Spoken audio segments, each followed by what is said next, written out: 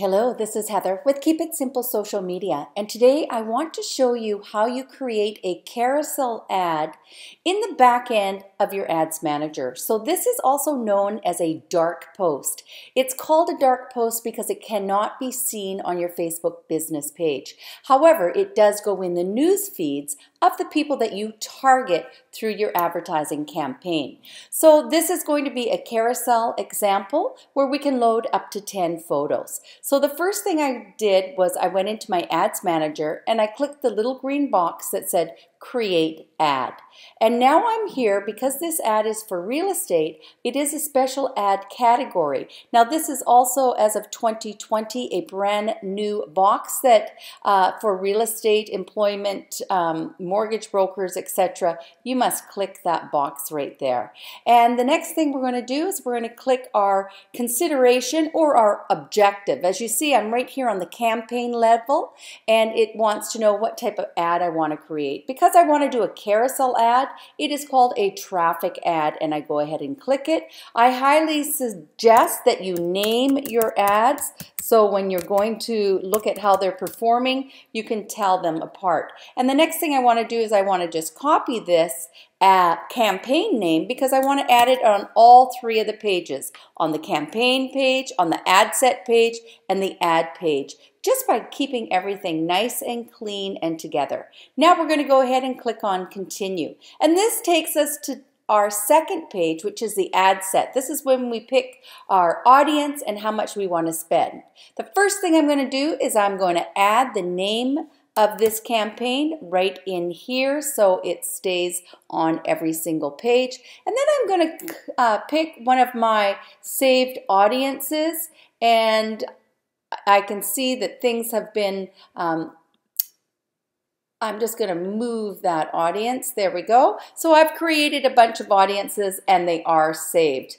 And because this is real estate, I go with a lot of other options besides just real estate. First time buyer, house hunting, and I simply went into add demographic, interest, or behavior, and I just started typing out what uh, was more real estate related. If I needed more suggestions because I couldn't think of any, I would click on suggestions and Facebook gives me lots of other suggestions um, that fall under that category.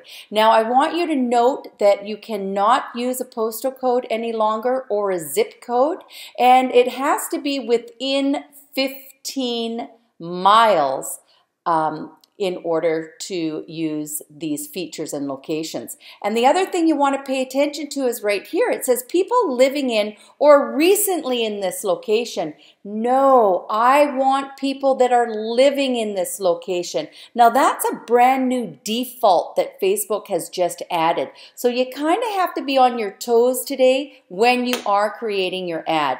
You cannot adjust the age. You cannot change the gender. Um, a lot of new rules and regulations are now um, being upheld by Facebook. In fact, right here it tells you zip code selection is unavailable. Um, and it does tell you about the 15 mile radius as well.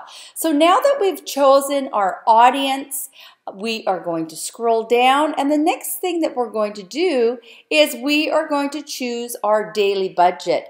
However, I like to recommend that you choose your overall lifetime budget. Notice when I click that, it automatically changed to $350. I just put my arrow behind the zero and back it out and now it's I'm not spending more than $35. Now this ad looks like it's running for one month and you can no longer spend a dollar a day on ads on Facebook. So we're actually going to have to click this and we're going to go back one week and that should fix the red notification as you see it has. So it's going to run just short of a month for $35. You can see that there's 1.6 million potential eyeballs that this ad could go in front of. We don't have a very big budget, so Facebook is saying you might get 5 to 16 clicks a day, and I think that my uh, client would be extremely pleased with that considering the amount of money that we're spending. And then you have your estimated daily reach. And that's really all you need to do on the ad set page. Let's go ahead and click continue. And now we're going to the third and last page for creating your ad. And this, in fact, is where we create our ad. So this is more of the creative side. But you notice before I get started, I am once again adding the name of our campaign right here. And you can see if I was using an existing campaign, I would click this button and then I would simply have to choose between all the posts that I had right um, on the page already. But we're not doing that. We're actually creating a carousel post in the back end. So it will be a dark ad. So we need to click on create ad. Now we need to click on what we want to create, which type of format. And we said we want to do a carousel. Clicking carousel. So here we can have two or more scrollable images, including a video. And now this is where we start our creative right here. We select an image and I have all my images um, saved on a file and here's my file so I'm not sure that I can pick more than one at a time because it's not letting me so we're gonna go one and it uploads okay and then we click continue and then we can go to our second photo and we can click select photo and we can upload the photo so I'm just gonna go that's a beautiful photo. We're to add that photo. Fourth, this is how you just keep doing it. So you can see it's coming across right here what our photos look like. Um, our third photo, select the image. It's kind of a slow process. So you need to make sure that you've got the time available to be doing this. That's a beautiful so you would do this exact process that we are doing right now for as many photos as you want. You can see we're on one, two, three. All I have to do to add another one is click the plus sign. You see how it went to four? And I would put my cursor on the four and I would select the image. I would upload the image and I would just keep continuing doing exactly this. So it's rinse and repeat, up to 10 images. Facebook will tell you when you have uh, your 10th image or whether or not you can even add it because they might be using the website as a 10th image, which they often do. And so let's go back to image number one. So here we are on image number one. The next thing we want to do is we want to write a headline for the image. And I've already written some things out here. So I'm actually going to just add stunning home and go back to oop, the ad. There we go. And I'm going to drop it in.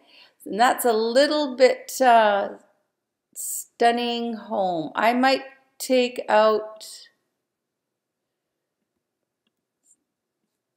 There, now you can see stunning home, right?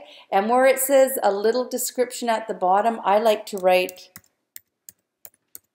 Toronto. And you're going to see down here, see how that just came in? Toronto and stunning home. So it's really um, coming along beautifully. This is on the first image. The next thing we want to do is we want to scroll down to the primary text. Now I am going to go back to where I have written everything out already and we're going to copy it and Command C is copy. We go back to the ad and primary text. I'm going to drop it in. And now what you're going to see is it all is added right up here. And so there we go. The last thing that we need is the URL. And I happen to have the URL in the primary text uh, from my Word document. So I'm just going to copy it and I'm going to drop it in right here and paste it in. There we go. It's loading the URL. It just took a minute. Now, if anyone clicks on any one of these photos, it is going to go to the website where this particular property is. Now, having said that, what you have to do is you have to click on each photo and add the URL, add your headline. So you might want to open up your uh, little copied Word document again and go back and drop your headline in there and there you go. Now let's see if we can scroll this over. There we go. So there's the arrows. You notice I took it off of the mobile view and I put it down onto the desktop view so we could scroll through the photos and it's a long process to create these. The description, um, I might not add anything on this description because of the words that I have here. And then you just click on the third photo and you need to drop the URL. So I'm going to have to copy it again here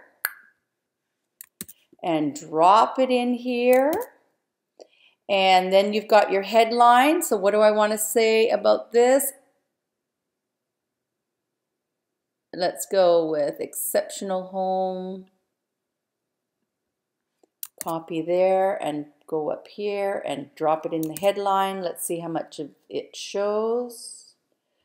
We'll click on the arrow to see how it looks. There it is. There's the words there. So you just go through this process over and over and over until you've got some words on each photo. You've dropped your link on each photo. You've got your primary text in here. And then you can scroll down to the very bottom and your learn more, of course, is on each one of the photos. You could change that if you um, wanted to read what Facebook offers for you to say to people and see what fits best for your photos or what your objective, your goals are. Then you scroll to the very bottom and all you have to do is hit confirm. After that, your ad goes in front of the review for Facebook to make sure that it fits all of their policies, guidelines, and you haven't done anything, uh, no infractions. Uh, if you do, they will send you a message to tell you that your ad is not going to be accepted and then they'll tell you why and you can challenge it.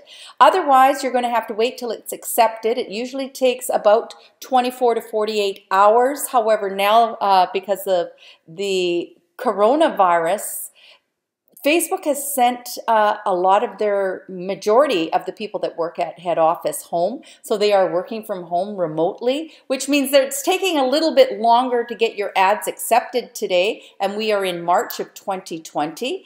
Um, other than that, um, once your ad is accepted, you should give it three to four days to start working. And then you should go back in and check it for its accuracy. How's it performing? Um, did you choose the right audience? Have you got a good visual?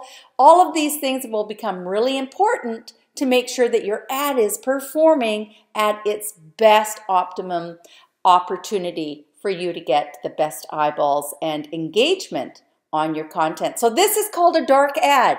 This is done in the Ads Manager of Facebook, and I hope that this helps you be a better ninja with your Facebook social media. My name is Heather, and let's keep it simple. Please remember to subscribe, hit the notification bell so you can be updated every time I put a new video on social media. Thank you.